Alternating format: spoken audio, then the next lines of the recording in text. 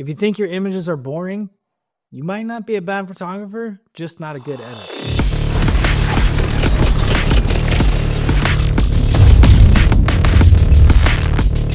When I started doing photo editing, I would have to take hours and individually cut out each aspect of the photo that I wanted to edit because I wanted to edit everything individually. Since then, AI has made that way easier, and using it to your advantage is a must. The key to having a good photo is to have some type of variation between your subject and the background, whether that's color temperature, brightness, contrast, whatever it is, there should be something subtly different about the background and the subject to separate them. And you can do that in camera with with flashes, with the sun, with whatever. And then we're going to accentuate it in post. Once you have a base good image, I usually take it into Lightroom this is a photo I took in the fall. So I always start with making sure my cropping is good. Gonna auto straighten it. It's usually pretty good. We're gonna center them up a little and put the horizon line on the bottom third. Try to get as close to that as possible in camera, but obviously perfect it in post. And then we're gonna go over to the layers. And most of my editing is done in the layers panel because we want to edit the background and the subject separately we're going to create our base mask. So we're going to select the subject and it's pretty good. Like you can see it's cut out pretty good. Like it's good enough. And then we're going to create one for the background and we're going to start with that. So I'm going to take my subject and really to separate the subject from the background, you can do it in a few different ways. You can make the subject brighter than the background, make the color temperature of the subject different than the background. So in this one, we're going to do a little bit of both it's kind of a fine tuning thing. It's kind of a tweaking as you go to make sh- to get your image where you want it to be. So we're going to start with the subject. We're going to boost their exposure just a little bit, up the contrast, drop the highlights, up the shadows, boost the whites, and drop the blacks. The blacks is your black point and the whites is your white point, and we're taking those and we're pulling them apart. And the highlights and the shadows are the areas between the middle and the bottom and the top. So we're gonna drop the highlights down towards the middle, but pull the white point up. We're gonna pull the shadows up a little away from the bottom, but pull the black point down. That way we have a bigger depth of highlights and shadows. And we're gonna boost their temperature just a hair. We're gonna throw a little dehaze in there. Then we're gonna go to our background. In our background, we shot this in the fall. The leaves weren't totally turned yet, but we're gonna kind of cheat that. Um, so we're going to drop the highlights because we lose a little detail on the highlights in the background. So we're going to drop those down. We're going to up the shadows a little bit. Same thing, boost the whites, drop the blacks. And that kind of gives the background more depth. Up the contrast. Again, dehaze just a little. But here's where we're going to separate it. We're going to boost the color temperature here to make it feel much warmer. Now we have an image with a lot more depth and it's starting to come together a little bit. I'd like to let the light source inspire where this next mask will go. So if the sun was off to the left, we'd put this off to the left. If the sun was off to the right, we put it off to the right. But for this, it's directly behind them. So we're gonna take this radial gradient. My mouse just fucking die? All right, so we're gonna create a radial gradient mask. We're gonna put it right in the middle, and then we're gonna go in into this mask, and we're gonna edit this mask. We're gonna s- subtract our subject. So now we're editing this area minus our subject. And we're going to take this and we're going to boost it because that's where our light source is. And we're going to kind of fake it. And we're going to make it uh, even warmer.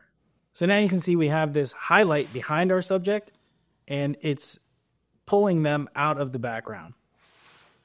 And from there, we're going to create a second radial gradient. And we're going to do, we're going to highlight our subject again, but this time we're going to invert it and we're going to drop the exposure around it to create kind of a more precise vignette.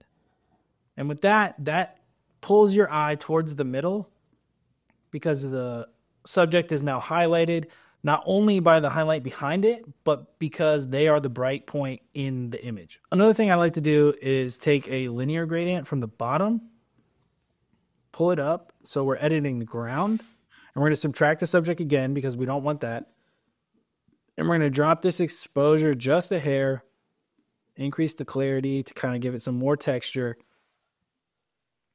And that's a pretty good point to be at.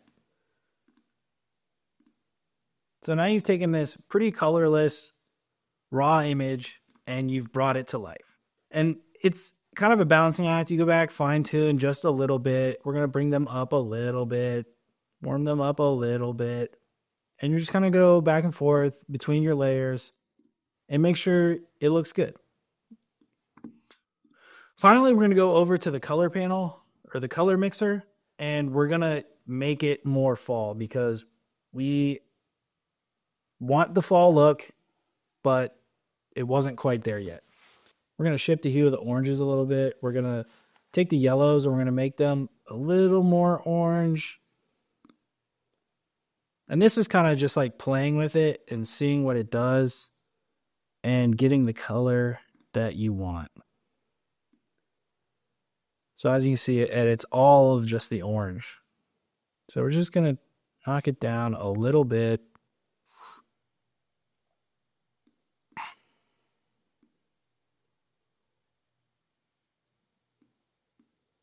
And again, we're to go back to our mask and we're just to fine tune it just a little bit. So, I mean, that's pretty much it for how I edit images and bring them to life.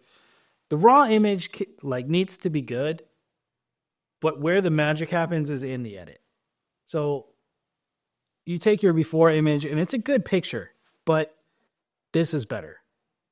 And that's just kind of the name of the game. And the beauty of doing this in Lightroom is that we can now take this edit that we've created and this look that we've created and take the edits. We're going to do choose edit settings to copy. We're going to make sure we select masks.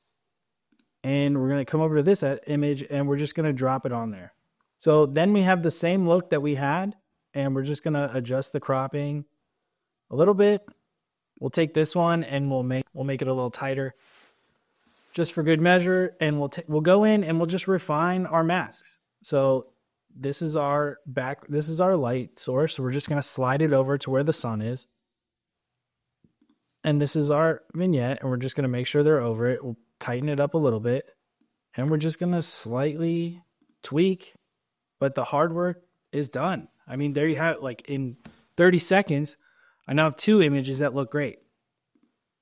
They have the same look, the same color profile, and we're off to the races. Developing your editing look is something that comes over time, and I've developed a process to get the look that I get repeatedly. If you like this video and you want me to do more photos and show you my process on how I get the look that I do, just let me know and I'll keep them coming. My hair light died.